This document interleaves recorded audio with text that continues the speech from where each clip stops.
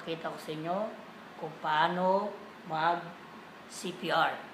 Okay, so i-discuss natin muna ngayon kung ano ang pagkasunod-sunod o tamang procedure ng pag-CPR. Tara! so, ang una, pag kayo ay dumating sa isang uh, senaryo, ang una nyo gawin ay i-sin safety muna. So, kunwari, uh, ito yung nangyari, ikutan mo papunta sa paa. Huwag dun sa ulo. Bakit? Kasi, uh, alam naman natin na sensitibo ang parte dito. Mamaya natamaan mo siya. So, hanggat maaari, depende pa rin sa sitwasyon yon.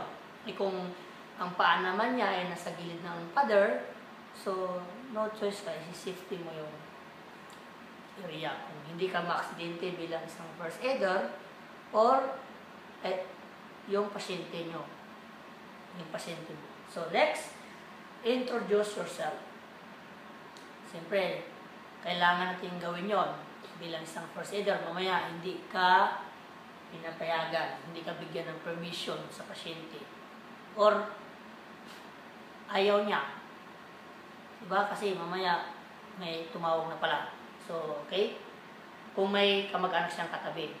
So, kung wala, so, wala ka ng uh, pahin, mahingi, uh, pahintulutan. Wala ka nang hingian ng pahintulot. So, proceed ka na sa pag-check ng responsiveness. So, next is, number three is check responsiveness. So, how to check responsiveness of a unconscious person. So, ganito lang siya. Just slap three times at his both shoulders. Okay? And then, see, hey sir, hey sir, are you okay? Hey sir, hey sir, are you okay? Hey sir, hey sir, are you okay? So, no responsiveness. Activate the no responsiveness, so activate medical assistance and transfer facility. And then next, number five is check airway, breathing, and pulse. So, paano ba? Pag nag-check ng uh, airway, so, itaas mo lang yung ulo, sagad, para mano yung bul, bul, ano dito, galugod niya, ayun niya dito, ma-open.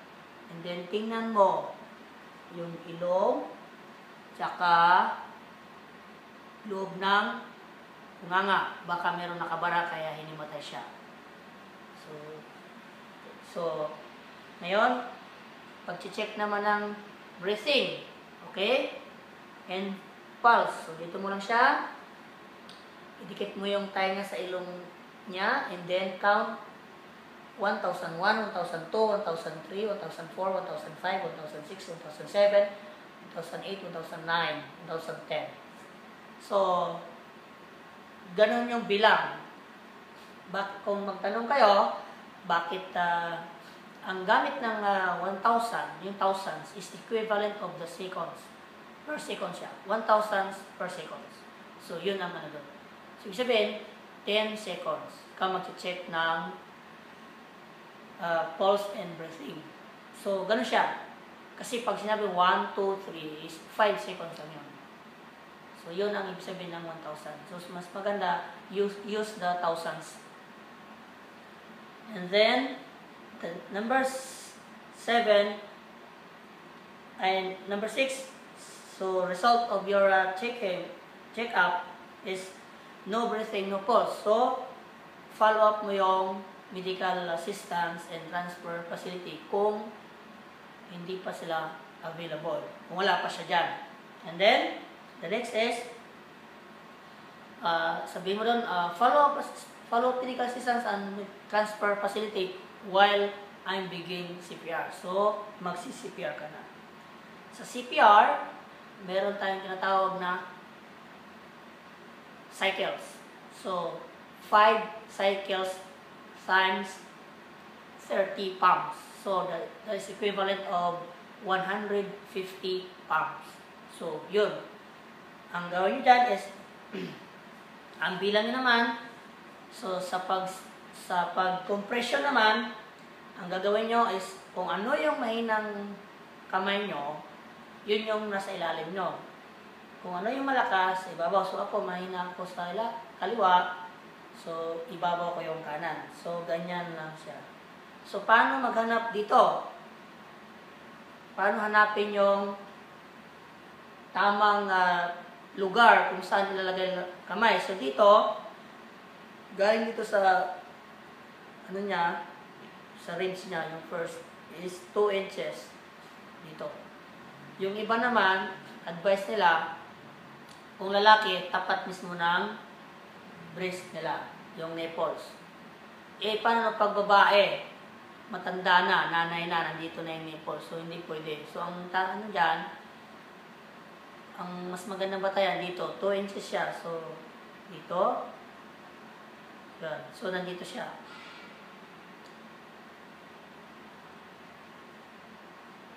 And then, lagay mo yung kaliwa, yung mahina, ilagay mo yung unang mahinang kamay, and then, yan. So, mataas kasi ito, mamaya bababa ako para makita nyo kung paano mag chest compression.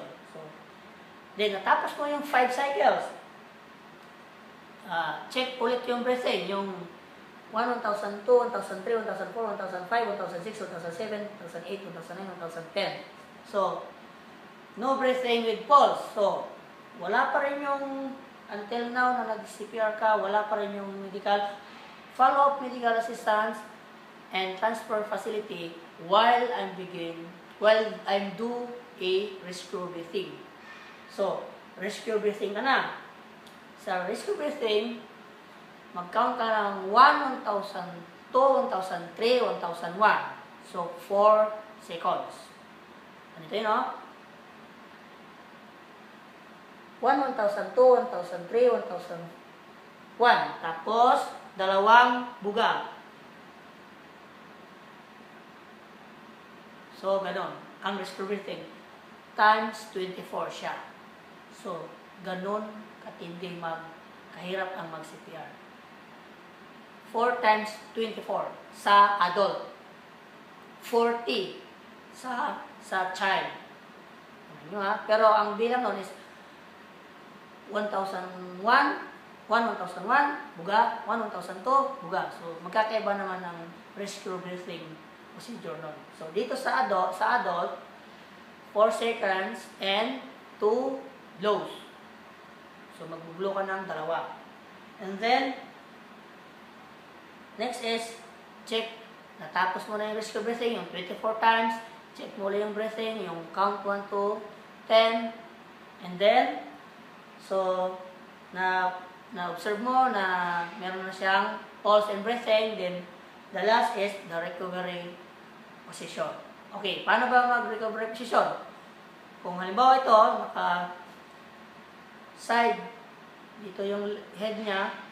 So, kung unconscious siya, palayo sa'yo sa katawan mo. So, yan. Kung saan mo itatagilid, iharap yung tao, unahin mo yung kamay niya doon. So, ito, dahil iharap ko sa inyo, ilayin ko, kunwari yung kamay niyang kaliwa, and then yung kanan, ilagay dito, para masuportahan yung ulo niya, and then yung paa, cross legs, and then, i-twist mo lang siya doon papunta. So, yung kamay niya, nandito siya. So, kung ganun din, pag, pag unconscious naman, iharap mo siya sa'yo para maano-ano ko siya. Maalaya. So, ganyan ang ang ah, procedure ng CPR. So, marami. So, sa susunod na video, ay yung tuloy-tuloy na simultaneous na CPR na walang diskusyon. Okay?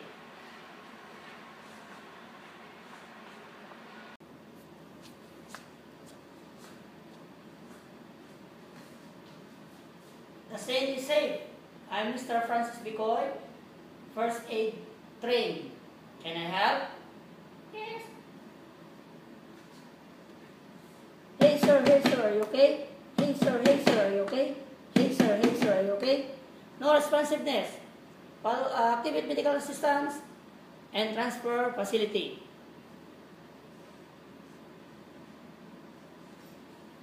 One, one thousand 1003, 1004, 1005, 1006, 1007, 1008, 1009, 1010. No files, no birthing. Follow-up medical assistance and transfer facility. While I begin CPR.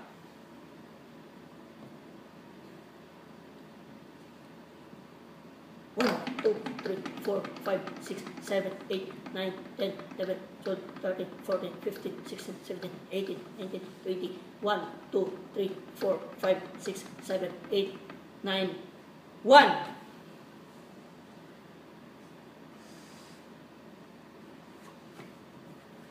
One, two, three, four, five, six, seven, eight, nine, ten, eleven, twelve, thirteen, fourteen, fifteen, sixteen, seventeen, eighteen, nineteen, twenty, one, two, three, four, five, six, seven, eight, nine, two.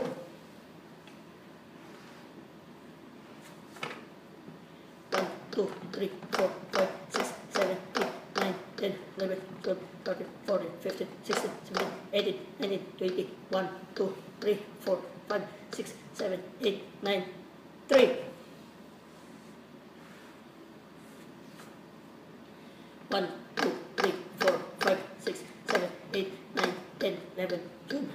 13, 14, 15, 16, 17, 18, 19, 20, 1, 2, 3, 4, 5, 6, 7, 8, 9, 4. 1, 2, 3, 4, 5, 6, 7, 8, 9, 10, 11, 12, 13, 14, 15, 16, 17, 18, 19, 20, 1, 2, 3, 4,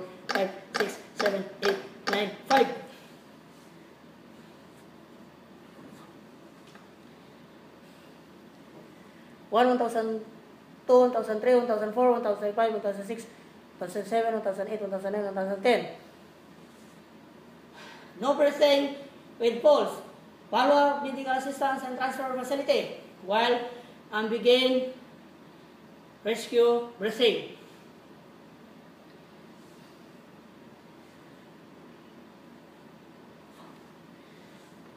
One, one thousand two, one thousand three, one thousand one. One thousand two, one thousand three, one thousand two. One thousand two, one thousand three, one thousand three. One thousand two, one thousand three, one thousand four. One thousand two, one thousand three, one thousand five. One thousand two, one thousand three, one thousand six.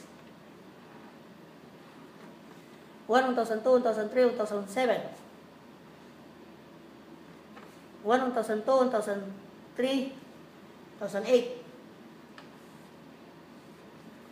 One, one thousand two, one thousand three, one thousand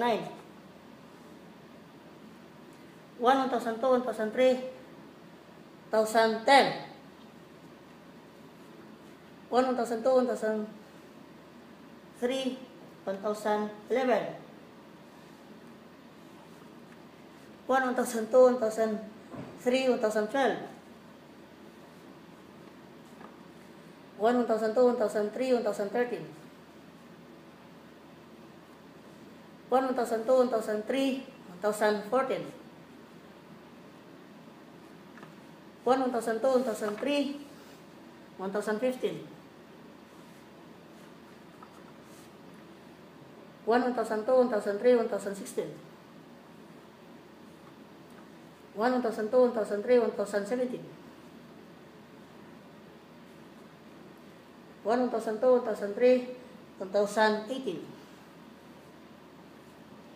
One, one thousand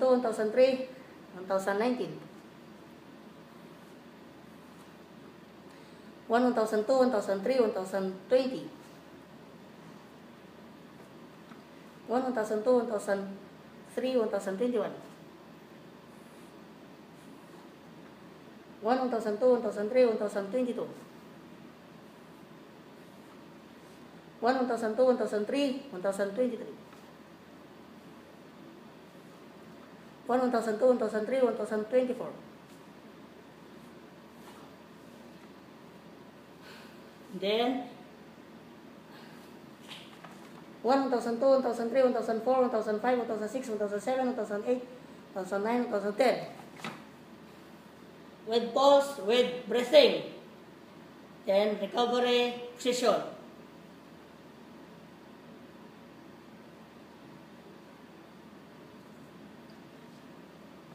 And then, okay. So, yan ang actual CPR. So, sana may natutunan kayo dahil hindi madali ang mag-CPR.